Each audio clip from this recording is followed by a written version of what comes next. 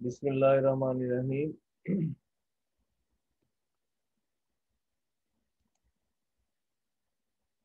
आज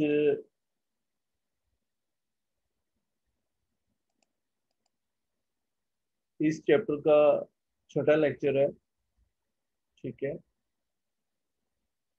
इसमें activity five eight point five है, कन्विक्शन इन गैसेस। गैसेस में किस तरह कन्विक्शन होती है? We need a box with two hole at the top अब हमें एक बॉक्स की ज़रूरत है जिसके दो होल ऊपर बने हुए हो। पेपर या कपड़ा होना चाहिए आपके पास। माचिस बॉक्स होना चाहिए कैंडल और प्लास्टिक शीट होनी चाहिए। ठीक है?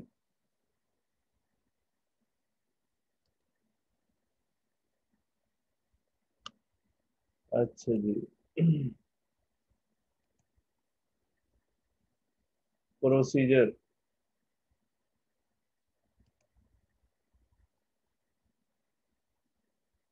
light a candle and place it under one of the hole in convection box अब हमारे पास एक बॉक्स है। ये देखें। हम एक कैंडल लेते हैं। और उसको क्या करते हैं कि जला के इस बॉक्स में रखते हैं। इधर जो है, चलो हमने कोई ग्लास लगाया हुआ है, शीशा लगाया हुआ है, ताकि हमें नज़र भी आ रहा हो। ठीक है? समझ आए तो जैसे आप इसको इसमें जला के रखेंगे तो यहाँ से हवा जो है ना, वो हीटअप होके हल्की हो जाएगी। उसकी डेंसिटी कम हो जाती है। डेंसिटी का मतलब है कि एटम दूर दूर चले, जितने करीब होते हैं, हम कहते हैं डेंसिटी ज़्यादा है। जितने एटम दूर होते हैं, हम कहते हैं डेंसिटी कम है, या मालिक्यूल ठीक है? जैसे हम इसको कैंडल को जलाएँगे, हवा जो है उसकी डेंसिटी कम होगी और ये ऊपर से बाहर जाना शुरू हो जाएगी।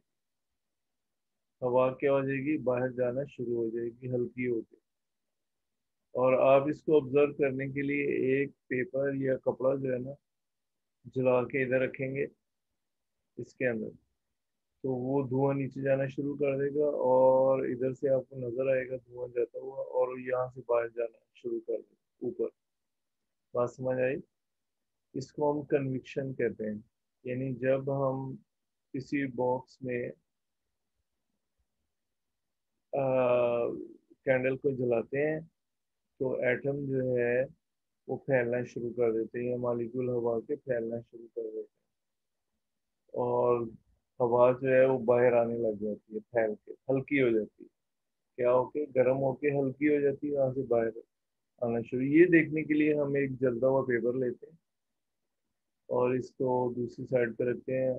तो जैसे हवा, ये कैंडल वाली साइड से बाहर जाएगी उधर से क्या होगा? नीचे आना शुरू कर देगी। क्या होगी? नीचे आना शुरू कर देंगे। ठीक है? बात समझ आई? क्योंकि वो हवा बाहर जा रही थी, इधर से नीचे आने लग गई। तो इस तरह धुआँ यहाँ से आएगा तो वो नीचे आपको जाता हुआ महसूस होगा। अभी मैं एक्सपेरिमेंट में दिखा अच्छा बच्चों, बाद पेरेंट्स ये चाहते हैं कि आप कैमरा खोल के बैठे, ताकि मुझे पता चले आप एक्टिव भी हैं या नहीं है। चलें बच्चों कैमरा खोलें आप। ठीक है? बच्चों उबैर मुनीर खान ये कैमरा खोलें आप अपना ताकि मुझे नज़र भी आए कि आप कैसे बैठे हैं। Hello Munir Khan. Open your camera. Munir Khan. Camera खोलो बेटे। पेरेंट्स चाहते हैं आप कैमरा खोल के बैठे।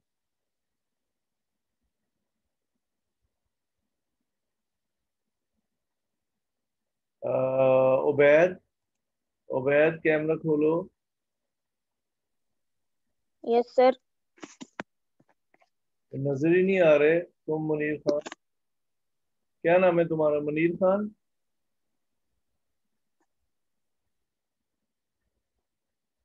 मुनीर खान उबैद कैमरा खोलो। उबैद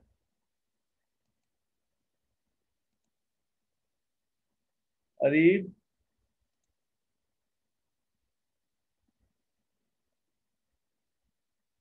अरीब कौन है? मनीर खान क्या कहा है मैंने?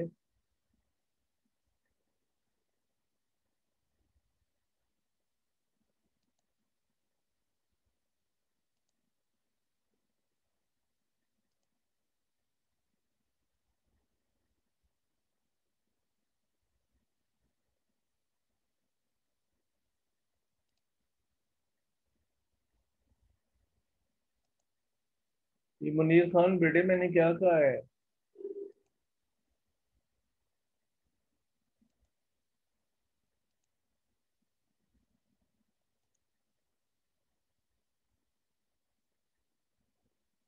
कोई बच्चा जो बात नहीं सुन रहा। बच्चों, मैंने क्या कहा है? आप कैमरा अपना खोल के रखेंगे। Munir Khan open your camera. Munir Khan open your camera.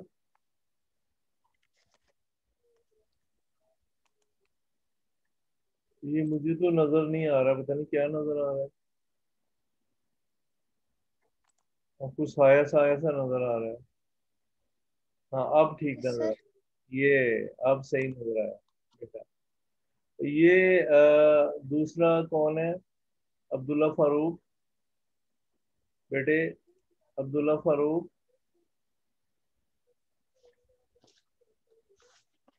Yes Abdullah Farooq.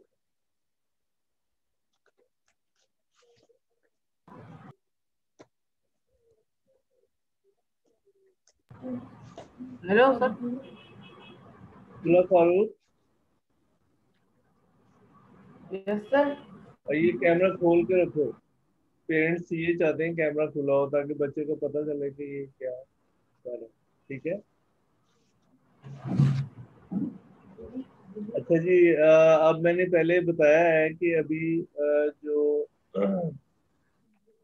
हमारे हमारे पास एक बॉक्स है। बॉक्स के अंदर हमने एक कैंडल को लगाया है और कैंडल जो है वो जल रही है और उसकी वजह से हवा जो है ना, वो एक्सपैंड होके बाहर निकल रही है। ठीक है? तो इधर से क्या होता है कि अगर हमने एक जल्दी हुई कागज़ एक साइड पर रखेंगे तो धुआँ अंदर जाना शुरू कर देगा। तो हवा एक तरफ़ से बाहर आ रही है तो धुआँ फिर उसी तरफ़ जाना शुरू कर देगा। ठीक है? ये भी मैं दिखाता भी हूँ आपको Procedure, light a candle and place it under one of the hole in the convection box. ठीक है? तो कह रहे हैं, आप कैंडल को क्या करें कि जलाएँ और इसे एक सुराख में रख दें कन्विक्शन बॉक्स के अंदर। Bring a burning piece of paper और cloth near the hole other than the candle कहता है, जो कैंडल वाला होल है, उस पे नहीं, दूसरे होल पे आप एक कागज़ का जलता हुआ या कपड़े का जलता हुआ टुकड़ा रखें उससे धुआँ जो है अंदर जाना शुरू कर देगा, ठीक है? What happen as a warm air weighs is less than the surrounding air कहते हैं, गर्म हवा का वज़न कम हो जाएगा, दूसरी हवा से it rise out of the hole above ये होल से बाहर जाना शुरू हो जाएगी the cooler and heavier surrounding air into the box. Cooler, ठंडी और भारी हवा जो है बॉक्स में दाखिल होगी through the hole other hole to take the place of air हवा की जगह लेने के लिए विच लेफ़्ट द बॉक्स जो बॉक्स से बाहर चली गई है। And this movement of air in and out of hole due to difference in weight ये वज़न के फ़र्क की वजह से है। यानी एक तरफ़ से हवा गर्म करने से हल्की हो जाएगी, दूसरी तरफ़ भारी होगी, वो नीचे आना शुरू कर देगी। Sets up a convection current इससे कन्विक्शन करंट पैदा हो जाता है। अच्छा जी, ये मैंने अभी बताया आपको, अब मैं इसका प्रैक्टिकल बता देता हूँ, ये देखें। कि ये इधर कैंडल जल रही है, नज़र आ रही है आपको, ठीक है बॉक्स के अंदर। तो इधर से हवा बाहर आना शुरू हो जाएगी। और इधर से हवा जो है वो अंदर जाती है और फिर यहाँ से बाहर आती है। इधर हवा जो क्या होती है, भारी होती है, इधर हल्की होती है। तो एक जलता हुआ पेपर इसमें रखें, ये देखो। तो आपको नीचे से धुआँ दूसरी तरफ़ जाता हुआ महसूस होगा। ये देखो, ये देखें। दूसरी तरफ़ धुआँ जा रहा है ना, वहाँ से बाहर जाएगा धुआँ। क्या होगा? वहाँ से बाहर जाना शुरू कर देगा, ठीक है? यानी इस तरफ़ हवा जो हैवियर थी, इधर लाइटर थी, हल्की थी हल्की हो गई थी यहाँ से बाहर जा रही है और इधर से क्या है अंदर आ रही है। ठीक है पता चल रहा है आपको बच्चों?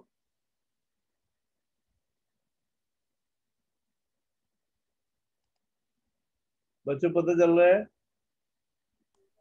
यस सर अच्छा जी।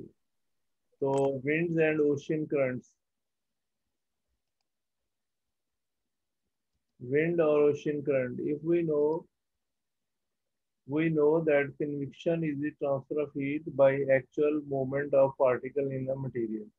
कहता है कन्विक्शन जो है वो हीट का ट्रांसफ़र है by the actual movement of particle particle जो हवा के है ना मालिक्यूल या एटम उनकी मूवमेंट की वजह से कन्विक्शन पैदा होती है. Wind and ocean current are example of effect of convention convection wind जो तेज हवा चलती है समुद्र में और समुद्र से दूर या समुद्र की तरफ़ जो तेज हवा चलती है, वो भी कन्विक्शन की वजह से होती है। Heat of sun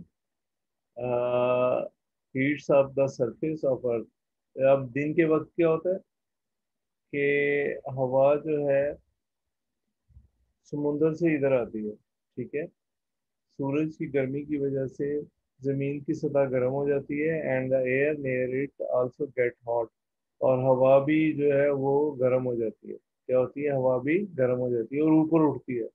The air expand and get lighter हवा जो है फैलती है और हल्की हो जाती है। सो इट राइजेज अप और ये ऊपर जाती है।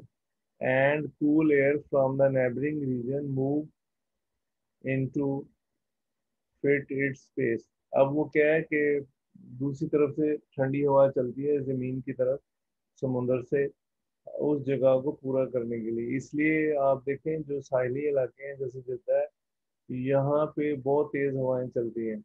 उसकी वजह क्या होती है? ज़मीन दिन को गर्म हो जाती है और उस जगह को फिल करने के लिए समुंदर से हवा आती है, ठीक है? और ज़मीन गर्म होने की वजह से जो हवा है, वो भी गर्म हो जाती है और उसके मालिक्यूल दूर दूर हो जाते हैं और वो बड़ी तेज़ी से ऊपर की तरफ़ जाती है। क्या है बड़ी तेज़ी से ऊपर की तरफ़ जाती है? क्लियर समझ आया? तो इस जगह को फिल करने के लिए समुंदर से हवा फिर तेज़ी से अंदर आना शुरू हो जाती है, यानी ज़मीन की तरफ़। ये देखिए सनलाइट है। तो ज़मीन पे क्या होता है कि हवा जो है वो ज़मीन गर्म हो जाती है, इस तरह हवा भी गर्म होती है तेज़ी से ऊपर जाती है। उसको फिल करने के लिए समुंदर से हवाएँ आती है। इस तरफ़ से? समुंदर से हवा तेज़ी से आती है। ठीक है? The rising warm air reaches upper cooler layer of air. अब कहते हैं जो गर्म हवा ऊपर पहुँच जाती है तो ये भी ठंडी हो जाती है। Cool heavy air sink to earth in cool region to below again to take the place of rising air ठीक है और ये जो ठंडी हवा ऊपर गई थी सिंक टू द अर्थ फिर ये दोबारा ज़मीन की तरफ़ आती है इन कूलर रीजन ठंडे इलाकों में to blow again to take the place of the rising air वो उसकी जगह लेती है जो हवा ऊपर गई है। Thus convection current are set up and wind system goes on ocean currents are also set up due to convection of air ocean current भी कन्विक्शन ऑफ़ एयर की वजह से कन्विक्शन ऑफ़ हीट की वजह से पैदा होता है। Water of the hot region of ocean get hot it expand and get lighter but uh, water in the cooler region remains cool cooler region में पानी ठंडा ही रहता है and heavy और भारी रहता है hot water moves along the surface of ocean गर्म पानी जो है वो समुंदर के साथ साथ मूव करता रहता है toward the cooler region cooler region की तरफ़ the hotter water flow below the surface of ocean गर्म पानी जो है समुद्र की सतह के नीचे होता है। Due toward the hot region वो हॉट रीजन की तरफ़ जाता है। In this way ocean currents starts ocean current जो है, वो भी शुरू रहता है।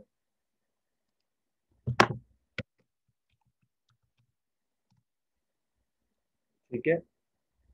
अच्छा जी। इसके बाद है convection and gliding flight of birds अब आप देखें कन्विक्शन की वजह से पौधे परिंदे जो है बगैर एनर्जी लगाए बड़ा ऊपर जाते हैं। जैसे हवा ऊपर को उठती है उस आ, लहर के ऊपर या उस करंट के ऊपर अपने आप को छोड़ देते हैं और बगैर एनर्जी लगाए जानवर जो है बड़ी दूर दूर तक ऊपर जाते हैं।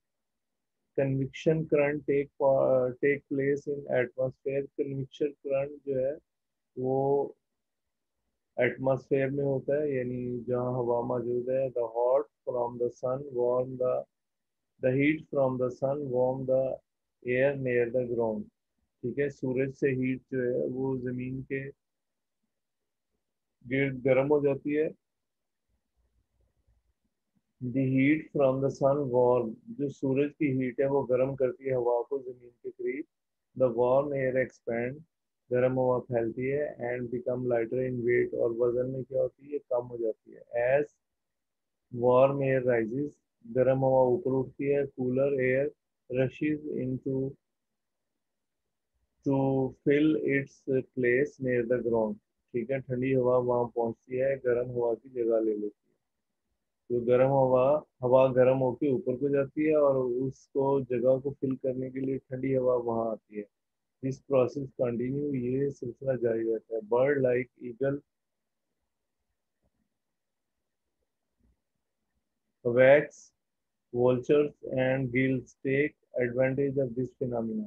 अब कहते हैं कि ये जो परिंदे ऊपर उड़ते हैं, ये सारे बड़ी हाइट पे उड़ते हैं, ये इसका फ़ायदा लेते हैं। एंड दे एंजॉय ग्लाइडिंग अब वो अपने आप को छोड़ देते हैं, हवा ऊपर जा रही है और वो हवा उनको लेते जाती है। बगैर एनर्जी लगाए वो बड़ी हाइट तक पहुँच जाते हैं। During a gliding flight a bird does not move its wing वो अपने परों को नहीं फड़फड़ाते but glides on air current सिर्फ़ एयर करंट पे ये ग्लाइड करते हैं।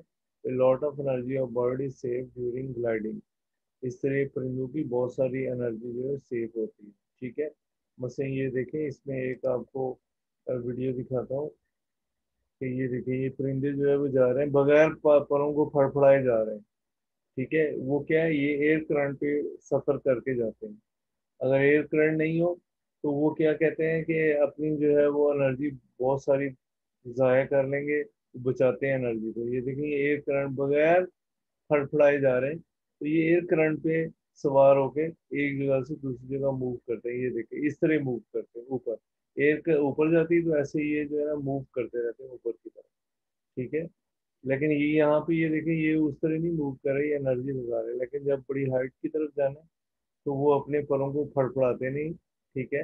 क्या है? अपने परों को नहीं फड़फड़ाते और सिर्फ़ ऐसे ही ऊपर जाते हैं, ये देखें। जैसे ये जा रहे हैं ना, ऐसे ही ऊपर जाते रहेंगे और बड़ी हाइट तक पहुँच जाते हैं। क्या है ये? बड़ी हाइट तक पहुँच जाते ठीक है? बात समझ आए तो ये आज का लेक्चर था। तो बच्चों, मैंने पहले भी कहा है आइंदा जब आप आए यहाँ पे तो कैमरा जो है वो खोल के रखें, ताकि हमें पता चले कि आपकी एक्टिविटी का अंदाज़ा हो, कि आप कैसे बैठे हुए हैं। तो पेरेंट्स ने अभी कल जो मीटिंग हुई थी उसमें कहा है कि बच्चों को कैमरा खुलवा के रखें, ताकि वो पता चले, बच्चे पढ़ भी रहे हैं तो वो जो दे रहे हैं या नहीं दे रहे समझ आया? अभी कोई क्वेश्चन आपने पूछना हो तो पूछ लें। जी बच्चों को क्वेश्चन पूछना है तो पूछ सकते हैं। हाँ जी मुनीर खान कुछ पूछना है? कोई क्वेश्चन पूछना है? नो no, सर तो आपने कैमरा बंद कर दिया फिर। मुस्तफ़ा क्या पूछना है? मुस्तफ़ा क्या पूछना है?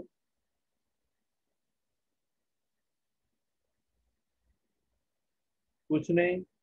ये आंदा, आप सारे बच्चे कैमरा खोल के रखेंगे और एक्टिव होके आए और अपना अच्छे तरीके से बैठे आगे, ठीक है?